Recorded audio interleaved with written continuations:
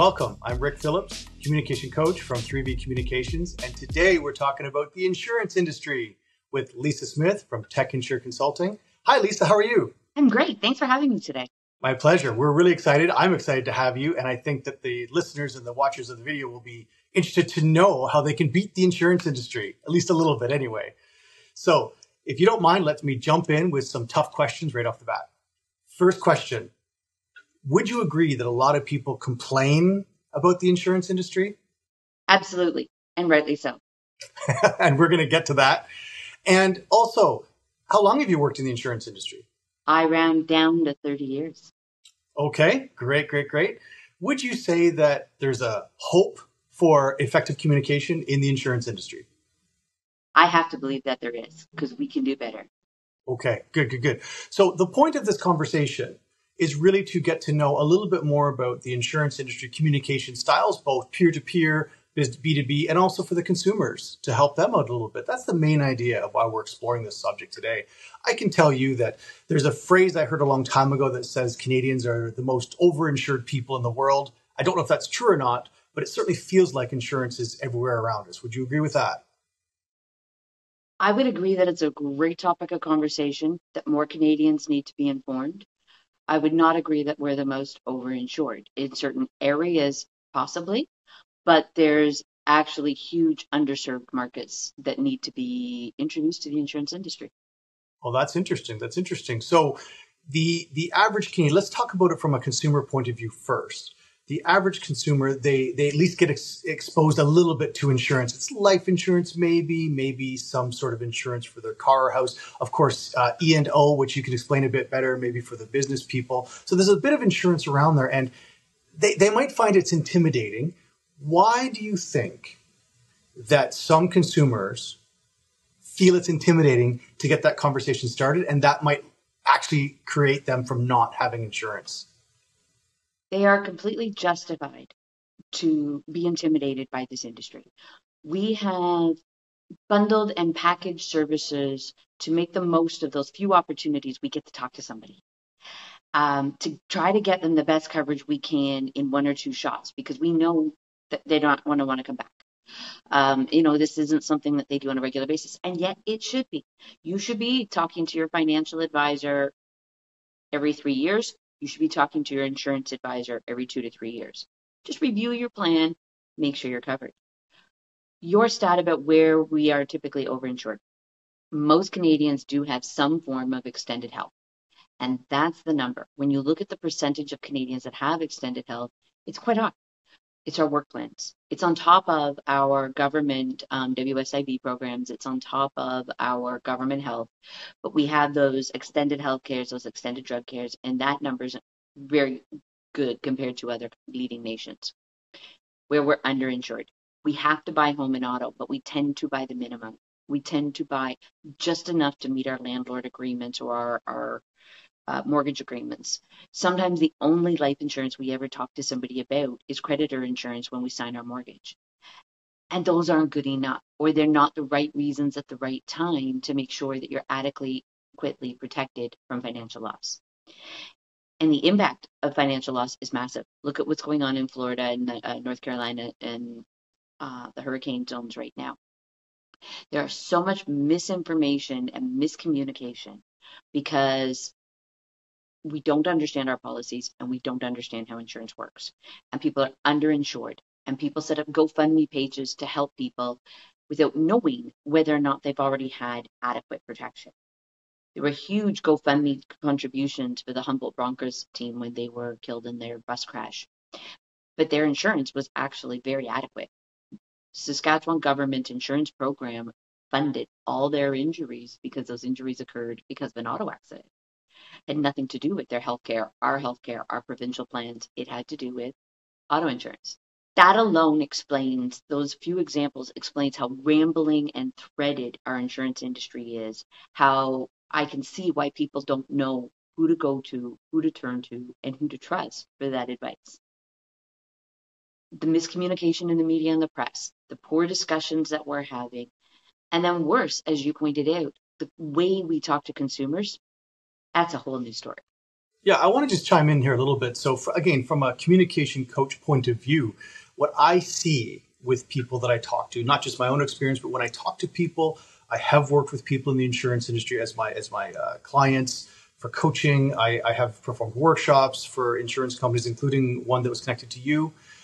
What I feel, and I'm using that word particularly, is that there's an emotional connection to insurance. There, there's that that that fear of safety versus not, right? So it's like we we we need to get insurance. It's drilled into our heads from our parents or from society, and we we feel this need of what if, what if, what if.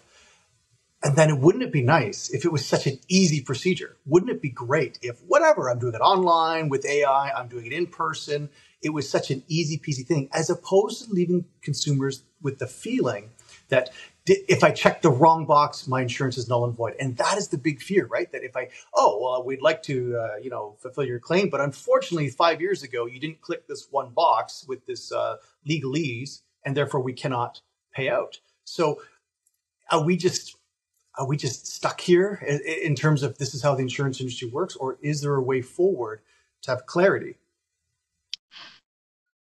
Two different points in here that, that you're bringing up that I just love. Um, the first one is how we engage with those consumers and the way this is changing between AI, social media. Um, people want things simple. They want to do it themselves and they want to be able to streamline and get through that process. The insurance industry, the insurance industry is not doing that well we can be simplifying our package policies, making other things option. People aren't afraid of options. Look at how you order a pizza online. You know, it's everything from how would you like the crust to each individual layer, and and people are not afraid of customizing and tailoring if we can make the option simple enough. So what if instead I could say, all right, we're going to insure your home rig. Do you need cyber protection? This protects you from things like data on your cloud drive, your phone, any of your information that gets exposed? Is this important to you? And you can say yes or no. And it, we need to understand it is protection.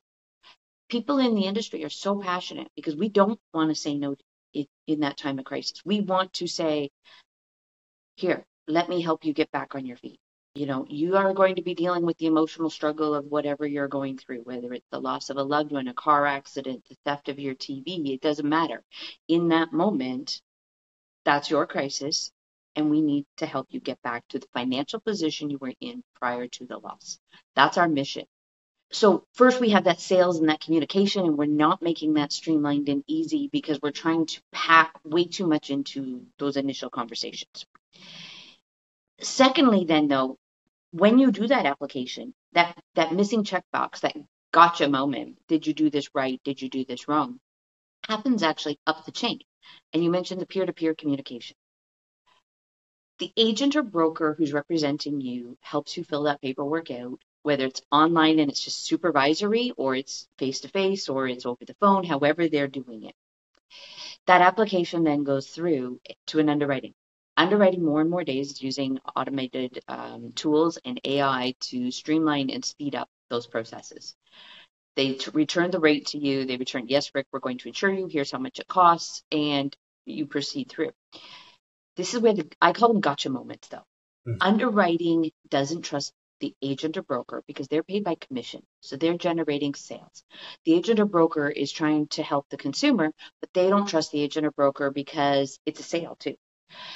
This has created an awful lot of angst. We need to understand that those agents or brokers, if they're doing their job right, which they are licensed and, and there's there's rules to make sure that they do, that they act in an ethical and behavior and they're acting in the best interest of both parties. But the underwriters still have these gotcha moments. Oh, we got you lying. We're going to deny this. Oh, the claims coverage. We got you in this moment. We're going to deny this. There's a lot of that still there. I'm really proud to say my industry's made a lot of movement to getting that dealt with up front. Let's deal with that during the application. Let's say you don't qualify up front because of a health condition or a medical condition. Now we can discuss other options. Rather than you think you've got protection, you're worried about putting in a claim or you're worried about your renewals, and here comes a gotcha moment. Mm-hmm. That doesn't do anybody any good. No. I want to go back, if you don't mind, to the pizza analogy because it suddenly got yeah. me hungry. Um, You know what the thing about pizza is? We can complain about the like which companies taste better and all that stuff, and we might they might screw up our order, right? They might uh, it might be later than they promised. They might have put anchovies on. When we didn't ask for that, but we always get the pizza. So that's the difference. So in the insurance industry, the customization is great. I think it's great. I, I, deal with that myself. But I want that feeling of no matter what, I'm going to get the insurance coverage. Maybe there's a couple things, you know, here and there that are different. So that's the, that emotional appeasement this is how humans work, right? We need to have that feeling, whether we're dealing with doctors, lawyers, engineers, it, it, these kind of hard skills oriented industries. We need to have that feeling, especially when we're dealing with contracts we're signing or, you know, like a legalese types of papers that whatever happens, we're going to get that. So let's pretend there's a company called Guaranteed Insurance. And it's literally what it says. It says, no matter what, you're guaranteed to have insurance, at least a, let's call it a base level of X. I bet that would be quite popular because the customization can come on top of it. But the people know that even if they just did the basics, they've got a guaranteed uh, payout. So, have you come across anything similar to this idea, which really feeds into the the appeasement of that emotional fear of consumers?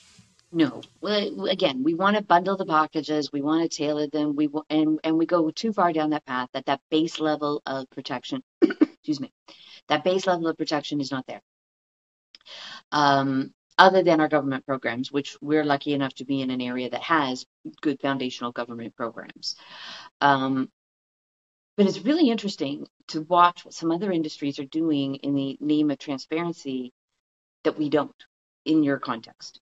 And I think right now of everything going on with the travel industry, with their disruptions. So they have created charters with that minimum quality now if your flight is is canceled or delayed for these reasons due to no fault of your own. If it's through your fault, you need insurance, and they sell it right there at that point in time. I'm not endorsing those programs. There's lots of different ways to buy travel insurance or buy protection, but they're making strides in the transparency to say if the airline cancels you, here's your charter of rights as a passenger. If the train cancels and delays you, here's your charter of rights. And, and, and if the hotels or Airbnb cancel or mess up, here's the next steps. Here's that protocol. Here's that, um, the military would call it chain of command that you go through to get to that level of help. And again, we have not done that transparency and communication. We have those steps. Earlier, you mentioned E&O a lot of people have, have it and don't know it, or they don't have it and they need it and they don't understand it. But errors and omissions is and malpractice are those things that make our society function fundamentally. Why would you spend seven years of university becoming a dentist, you know, two years of your residency and your practice, setting it all up? Why would you become a nasal surgeon if you have to go through all these extra steps and then the very first patient you operate on, the needle breaks and you're sued because this client swallowed a bit of a drill bit. It, it actually happens way more than you think. Um, you, they can't jeopardize their career and all the investment that they did in themselves, in their business, in their practice, getting to that point. Malpractice or errors and omissions protect professionals for those things. Errors and omissions is as a professional, we're held to a higher duty of care than somebody else if you're talking with your friends and none of you are in insurance professionals, you're just discussing ideas and concepts. As soon as an insurance broker is in the room, they are representing that ethics, that code of business behavior, that extra knowledge, and therefore, in the eyes of the law, like an engineer, like a doctor, they're held to a higher duty of care. And you mentioned earlier too, insurance, we fall into our own lingo like any industry. We fall into, we are very closely related to both financial uh, industry and we're very closely related to the legal industry because we bridge those two. So we use a lot of terminology like liability, fault determination. It's hugely misunderstood, and we don't do a good job at communicating that even amongst ourselves. Uh, honestly, I was talking to a broker the other day that was struggling to say, well, you know, liability is not determined. And I'm like, no, it already has been determined. You're charging a deductible, therefore. Um, as an educated consumer, I was lucky. How is an average consumer going to do that when we're using the terminology wrong? Not in a misrepresentation way, not in a in a malicious way, but just through it's complex. You know, how do we simplify communication. How are industries trying to be transparent in that to people who don't know? And it's really hard. Right. Yeah, for sure. And I just want to take a quick moment to mention that entrepreneurs, I work a lot with entrepreneurs through not just my own business, but obviously YEDI, York Entrepreneurship Development Institute. Shout out to YEDI, training entrepreneurs. But the point is, is for profit or nonprofit, they've got to be aware of these things like board insurance and, and E&O and protecting. They're trying to build a business. They're trying to help people. And, and, like you said, somebody slips and falls in front of your door on ice or somebody has some issue. And it's like, what, you know, at least have insurance. At least, at least, at least look into that. It's very important for business people, right? Entrepreneurs are uh, such a, a, unique hybrid, yourself and myself included in that group. We have to be experts at everything you know, we have to understand what our accountants are telling us about how our book of business and cash flow is working. We have to understand our business itself and what we're specializing in and what we're sharing. We have to know our customers' needs and marketing. Um, layer into that what we call risk assessments. What are your risk assessments? As soon as you have a storefront, there's slip and fall. Somebody could get injured in your store somebody should get injured on your shelving or your equipment. Um, there's the errors and omissions. You're out there as a professional. What happens if you are a photographer and you wake up sick that morning and therefore some bride doesn't get her wedding photos? You know, she can't repeat her whole wedding because of you. Um, you know, there's there's a lot of burden on them. Do you understand your risks and exposures? And again, we're introducing a language conversation that's completely foreign. You know, if if you're a communication coach or you're a consulting specialist, great. We know our, our industry lingo, but do we understand risk management lingo? And every entrepreneur now is learning all of these things on top. So again, shout out to programs like YEDI that help us, that teach us, that at least help us. And here's what I find is the interesting thing with the way social media works right now. Everybody's got their degree of anxiety. Everybody's got their degree of uh, discomfort. We're all in different areas which makes it hard to communicate. Fundamentally if i could help people i would say here's the list of questions you might want to ask. And you help them say is this your question? And now we're talking on a level footing because now i'm answering your question are you worried about customers coming into your property and getting injured no i don't have that no problem. Great. Let's go on to the next section. Are you serving food and alcohol? No, I don't do that. Great. Really interesting thing though came out of life insurance studies that I was I was lucky to be in a, a program back in the late 90s, early 2000s. There becomes a habitual response though when we start to survey people and I keep asking you questions. And life insurance is particularly uh, a good example of this. Do you have any heart conditions? And the list a bunch of examples, and you say no. Do you have a bunch of kidney or liver issues? And the list a bunch of examples, and you say no. Do you have lung? And they keep going through this. And what they realized is, as you were filling out the paper application, it was too process oriented. It was about these steps. And we methodically went through these steps. But what we created was a communication pattern of no, no, no, no, no. Do you want to buy this insurance? And as sheer habit, people would say no. We'd coach them, we guided them to that answer. So then we went through uh, programs of what happens if we split it up? What happens if we move it in? What if I say,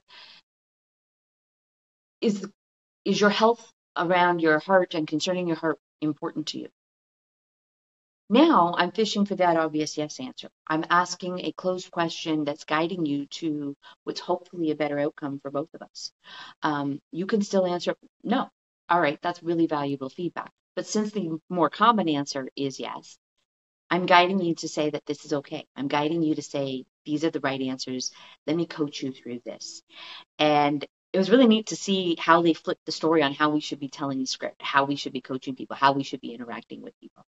They did that a lot back then when it was agent to agent communication. Now that so much of us is through social media, I almost feel like as an industry, we need to revisit that step. We need to retrain our people how to talk in 128 big keystrokes. Yeah, it's a great point, and I love that. Again, that's a communication thing, right? From sales, even it's like getting someone to say yes, yes first before you ask them big questions. I love that. Uh, let me take a moment and give you a chance to uh, introduce yourself a little more formally. Give us a little bit about uh, how you got into insurance um, and why you love it, why you do it, where you're at today. Give us a little bit more about Lisa Smith. So, I absolutely love it. I'm very passionate. I'm very passionate about providing that financial protection to families, to industries. And it started because in my career, I was lucky enough to start as a life agent and we were settling some old claims. We were contacting some old policyholders that, that had been long forgotten. And I got to deliver a policy to a lady, a claim to a lady. Her husband had passed away actually quite a few years ago, and she didn't know that there was a policy there. And she was living on fixed income in a senior complex. And I got to settle her claim for her and take her that little check. And it was not big. You know, it was just a few thousand dollars.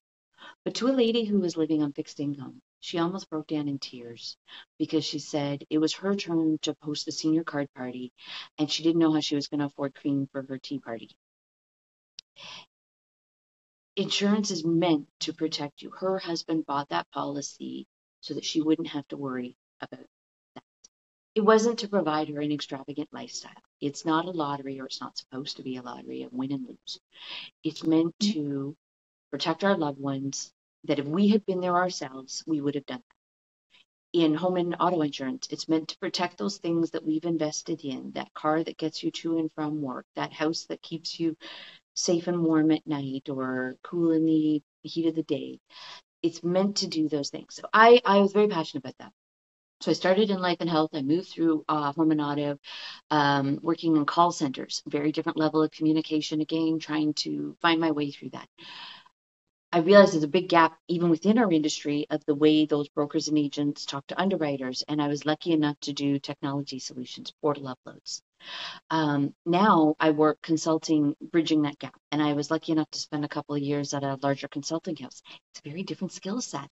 Pitching to a business owner how I'm going to protect their business. Uh, it's a very different way to tell a story, how I'm going to redesign your IT systems to create a better client experience.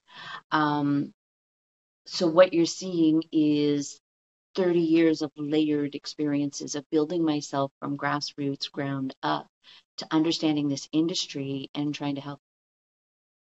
And as a woman entrepreneur, any tips for other women out there? Oh man. There's That's a lot a there. question. There's a lot there. Biggest thing is again, communication energy. I am very focused on positive energy. I am very focused on you can't let a bad day get to you. You need your your old fashioned Rolodex of who to call on a bad day. You know, who's going to buy you a glass of wine and sit and cry so that the next morning you can get up and go hit the ground running again. You need those reset moments. You need that you need to build your EQ not just your IQ. You know, you need to find a way because every day is going to be an emotional roller coaster. You're going to have a really bad sales call one minute, followed by a really good tech breakthrough the next minute, and next week it'll be the other way around.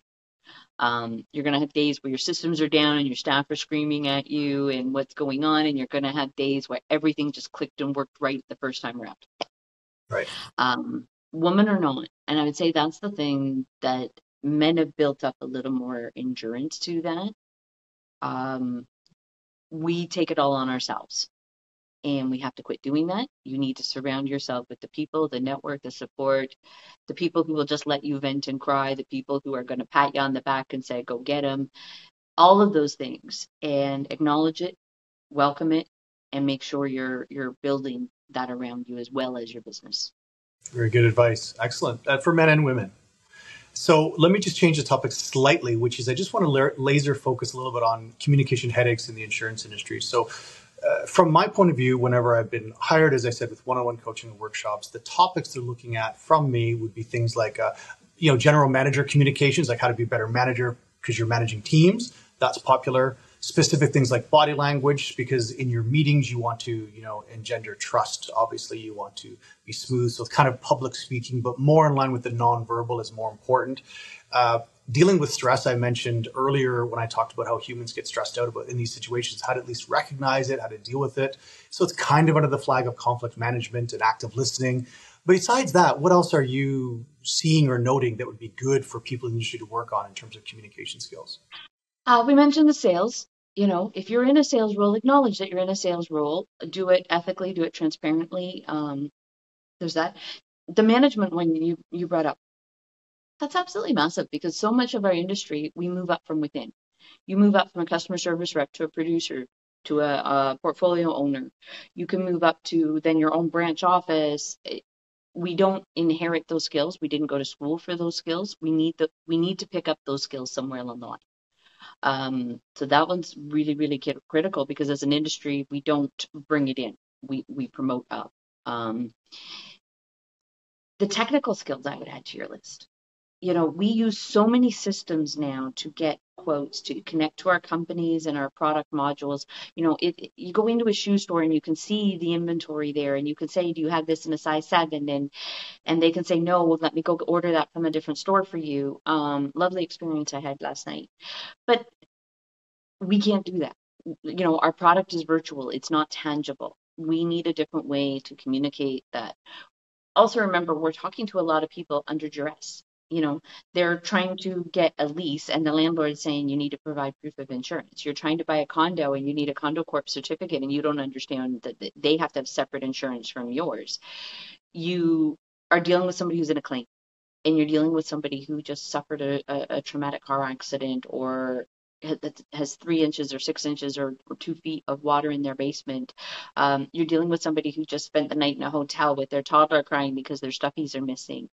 Um, we're not necessarily always getting the chance to deal with people when they're in a uninterrupted sales cycle and we can do our pitch nice and clean. There's noise, there's distractions. We're dealing with them under stress. We're dealing with them under duress. I think we need to acknowledge that. I, I, would say our claims adjusters teams across the industry do a fantastic job at getting the right people in the right place and, and learning those calming techniques, those those strategies. But there's always room for improvement and there's so many different tools we need at so many different parts of our journey. And i think that's it to understand too. Uh, i'm a lifelong learner. You can tell from the way i've mapped out my career path. Um, i think communication just has to be a part of that as we go. And the needs and the skills are changing with the tools and with our jobs. Yeah that's it's very very true. And and i agree. All, all of us we can't sleep on our on whatever we think we've got for skills education experience like keep learning uh, I want to harken back to what you said about the, the stress. To me, I find this is super important. When I would teach customer service or this kind of active listening type of skills, I would kind of use my hands and say, it's kind of like when your emotions are high, your rationale goes is low. It's just the human nature, and they kind of they kind of have to balance. And for people like me who are Star Trek fans, I always say it like it's like the three the three amigos there. You had Spock, who was extremely logical, and then you had uh, Bones McCoy, who was really, really emotional, right? And then Kirk was sort of in the middle, taking both to try to figure out what to do. And that's why the show worked in its own way. But it's a reflection of, of humans, how the brain works. And so trying to talk to someone when they're emotionally compromised, even if they're sound calm, but like you said, you know they've just had a tree fall on their car, right? You know they've just had a serious accident. They are emotionally compromised, even if they sound calm. Just understanding how to weave that into the conversation whether it's an online application, whether it's a it's a it's a person that you're talking to, is very very important. Absolutely. And that's why I would say in those moments where every three to four years you should be sitting down talking to a financial advisor about your investment strategies, your portfolio balance, and, and do your resetting and planning there. Every two to three years, you should be talking to your insurance advisor. And you need to pick one that you trust. Go shopping for them. Go sit in their office. Go visit their staff. Because those are the people that in that moment of calm you're putting on your team. And then when those moments of stress and duress happen, they're the ones who are going to back you. Those agents or brokers, you can choose whichever you prefer. There are differences, but choose the method that works for you. If you're buying online, choose a company that's offering the call center services or the documentation services and support that are meeting your mm-hmm. needs. If not, it's the wrong thing. The last thing you want to find out in that disaster is that you are unprotected. So know where it is. If, if you say, hey, this coverage is not that important to me, I can protect it myself, or I'm willing to take that risk, great. That's fine. Don't buy that insurance product then. But when they tell you, hey, but there's other things, there's other options here, you would be amazed what we can insure. You know, um, we have policies that if you develop something like a brain tumor, that just pay out automatically. And you can then take the grandkids to Florida and do that last trip, do that last wish. without impacting the rest of your financial estate. If that's important to you, there are policies for that. If that's not important and you'd rather have medical coverage in a private room and you'd rather have that, there are policies for that, and they are different policies. You know, if you're using a lot of cloud data and a lot of cellular data and a lot of apps to move your business data around, you need um, cyber protection. But if all you're doing is playing games on your phone and, and it's just your little solitaire game, do you need that level of protection? Probably not. Everybody's needs are different, and what's important to each of us is different. Um, reassess that. It's really interesting when people don't think to tell their insurance advisor that you added a swimming pool to your house in these era of renovations. It's really important that you added a sun deck or, or a patio set. Tell them.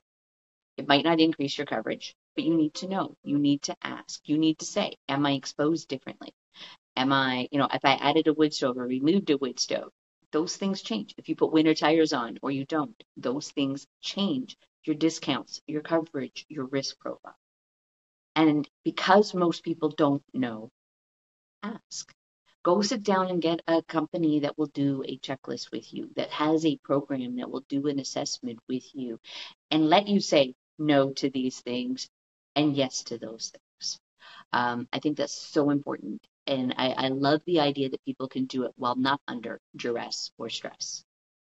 You know, excellent point and it's, it's a great way to leave this this interview with the idea of just like there there is that opportunity for you to, to be assertive so to speak and take take it in, you know the control of what you're trying to do and go and talk to people face to face even over the phone talk ask these questions make sure you're getting what you want find the right tailored solution for you i, I love it it's a great place to uh, to leave this interview. So, Lisa Smith, what's new? What's next with you? Not what's new. What's what's next on the agenda? What are you what are you up to, and where can people find you?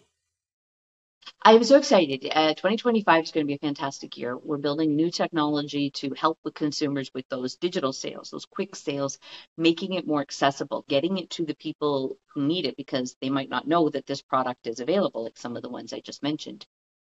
Um, so we're working on a lot of tools for that, and we're really working on a lot of AI and social media data. How can I find out that you're about to go on a particular life journey? Um, and how, if so, can we get you the right insurance to get you through that next step? Can we get you properly protected for whether it's a real journey and you're going on a trip or you're about to have a child and it's a lifelong journey because um, those kids don't move out. Let me just tell you that one right now. Um, you know, whatever is going on in your world, that we can make sure that we're getting you the right protection at the right time.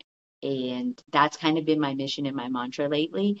Um, and I'm really excited about the way the technology and the tools are evolving, that we can find these people at the right time, make them the right offers, and make them feel comfortable with that they have the right protection.